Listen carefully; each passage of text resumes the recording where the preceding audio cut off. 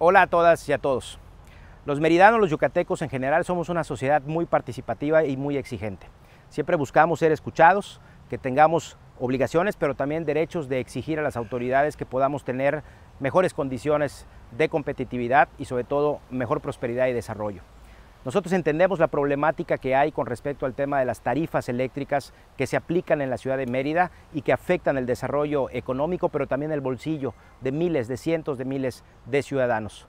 Nosotros también somos clientes como ayuntamiento, pero también somos ciudadanos y nos sumamos al llamado que ha hecho la sociedad civil de que tengamos tarifas más justas. Por eso, este martes 13, sin afectar los servicios públicos, haremos el apagón simbólico del Palacio Municipal para sumarnos a esta exigencia, a esta convocatoria ciudadana de que también como autoridad municipal y como sociedad podamos exigir tarifas más justas. Si todos nos unimos, lo vamos a poder lograr.